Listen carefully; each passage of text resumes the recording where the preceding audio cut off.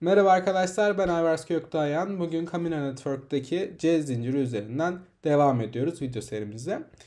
Aslında Camino işlemleri 3'e bölmüştü ve bu 3 işlemde platform zinciri, exchange zinciri ve burada tabi bir geliştirici olarak bence en, en önemsememiz gereken kontrat zinciri şeklinde 3'e ayrılmıştı. Şimdi birlikte C chain'i yani kontrat zincirini inceleyeceğiz.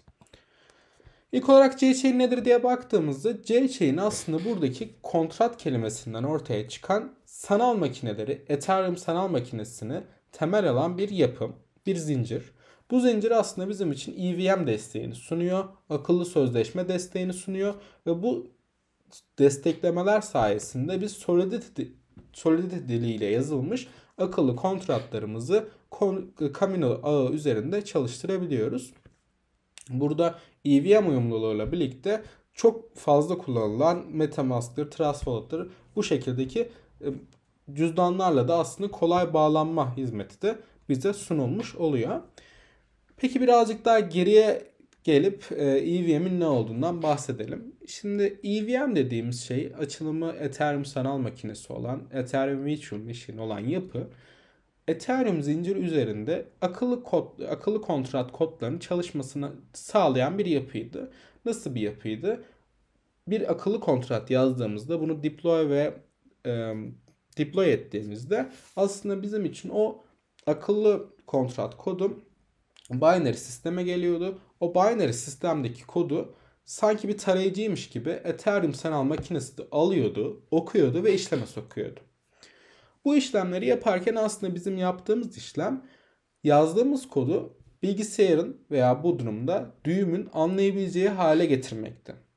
Bu anlayabileceği hale getirme işlemini biz genel olarak EVM ile yapıyoruz. EVM üzerinde bir standart var. Buradaki standartları kullanarak biz aslında Solidity diliyle üretilmiş akıllı kontratlarımızı oluşturabiliyoruz. Burada tabii bu akıllı kontratları oluştururken bazı güzel özelliklerimiz var. Güvenlik mesela en basitinden. EVM akıllı sözleşmelerin güvenliğini de sağlıyor. Esnekliğini de sağlıyor. Çünkü burada otomatik işlemler var. Karmaşık programların otomatik gerçekleşmesi var. Gaz mekanizmaları var. İşlemlerin belirli miktarda gaz istemesi, buradaki gazların ücretlendirilmesi ve bu ücretlendirme sayesinde aslında ekosistemdeki herkesin gelir paylaşımı sayesinde gelir kazanmasından bahsediyoruz. Ve aynı zamanda merkeziyetsiz uygulamaların akıllı kontrat sayesinde hayata geçtiğini görüyoruz. Artık merkeze sahip olmayan veya merkeze ihtiyacı olmayan uygulamalar Ethereum e, Virtual Machine'in başlattığı bir e, trend diyebiliriz. E, bir akıllı yapıyla aslında hayata geçiyor ve hepimizin karşısına geliyor. Yanında görüldüğü gibi aslında birden fazla mekanizma var. Burada internete de bağlanan yapılar var bazı kısımlarda. Özellikle sanal cüzdanlar, e, tarayıcı cüzdanlar olsun. Ama bu şekilde bir yapı olduğundan bahsedebiliriz. Akıllı kontratlar neydi? Ona baktığımızda akıllı kontrat aslında blok zinciri üzerinde çalışan kod blokları. Bu kod blokları o kadar farklı bir yapıya sahipler ki normal kodlara göre ilk olarak değiştirilemiyorlar.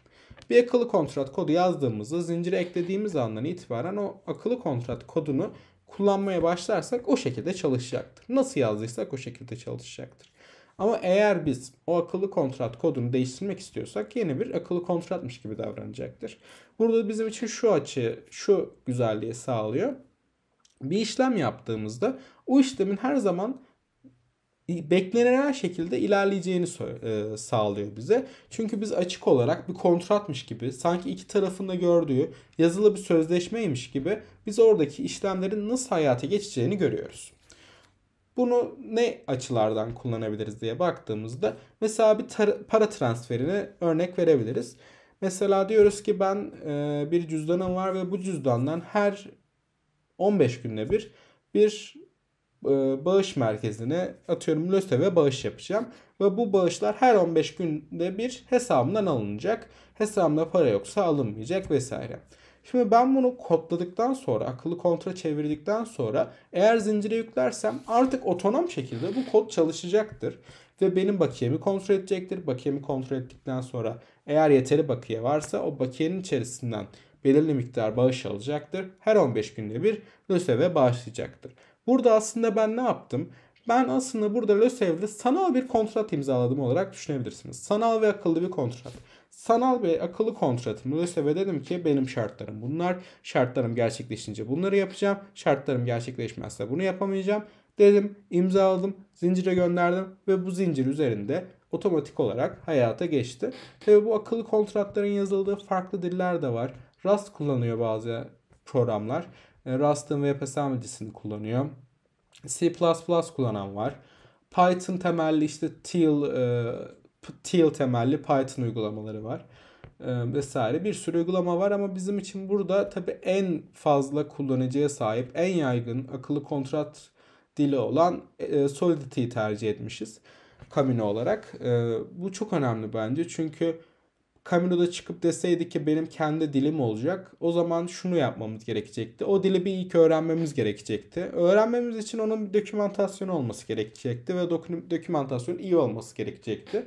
Her şey iyi ilerliyor ama bir hatamız olduk ve hatamızı hiç denenmemiş, e, hiç denenmemiş demeyeyim de çokça denenmemiş bir dilde hata aldığımız için bu hatayı bizim bir şekilde çözmek için insanlara ulaşmamız gerekecekti. İnsanların da bunu bilmesi gerekecekti vesaire. Burada çok büyük bir sıkıntıya düşüyoruz. Bunun yerine internette dokümantasyonu çok olan, çok fazla insan tarafından denenmiş, çok fazla insan tarafından hatalar alınmış, dolayısıyla bunlar çözülmüş bir dile ihtiyacımız vardı. Burada da mantıklı bir hamle yaparak bence Camino Ethereum'un altyapısını, EVM altyapısını kullanmayı tercih etmiş. Bu nedenle biz Solidity üzerinden akıllı kontratlarımızı yazabiliyoruz.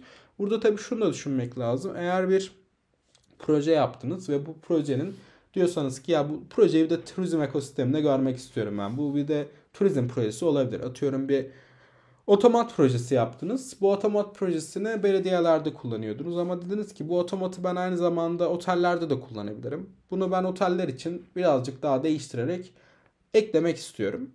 Normalde bunu nasıl yapabilirdiniz Camino olmadan? Tamamen o turizm ekosistemine ya farklı bir şekilde geçiş yapacaksınız ya da baştan sona yazacaksınız. Ama Camino diyor ki sen onu eğer Solidity'de yazdıysan ki büyük ihtimalle yazdın. Artık rahat bir şekilde gelip bana akıllı kontratını verip e, ben bunu e, benim zincirime ekleyip bunu çalıştırabilirsin. Bu şekilde benim zincirim üzerinde, turizm ekosistemi üzerinde projeni hayata gerçekleştirmiş olabilirsin diyoruz.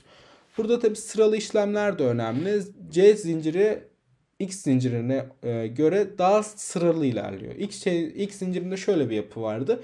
DAC yapısı vardı ve bu DAC yapısı sayesinde biz aslında atlamalı olarak işlem yapabiliyorduk. Birden 3'e geçebiliyorduk, 3'ten 7'ye vesaire. Ama burada EVM sayesinde EVM'den dolayı biz sıralı işlemler yapıyoruz. Yani ilk işlem iş harekete geçiyor, ikinci işlem harekete geçiyor, üçüncü işlem harekete geçiyor, dördüncü işlem harekete geçiyor. Peki bu bizim için neden önemli? Bizim için şu yüzden önemli. Çünkü aslında biz akıllı kontratlar oluşturduğumuzda işlemleri sıralı bir şekilde ilerlemesini istiyoruz. Kodumuzun düzgün bir şekilde çalışması için kod blokları içerisinde yazdığımız her şeyin sıralı bir şekilde çalışması lazım. Blokların da sıralı bir şekilde ilerlemesi lazım. Bizim için burada C chain'in sıralı yapısı da aslında çok önemli. Bu videoluk bahsedeceğimiz kısımlar bu kadar. Umarım C chain'ini yeterince açıklayabilmişizdir. Aslında C chain'in çok fazla bahsedecek alanı var ama bunları önümüzdeki videolarda Solidity üzerinden birebir kod yazarak göreceğiz. Beni dinlediğiniz için teşekkür ederim. İyi günler dilerim. Bir sonraki videoda görüşmek üzere.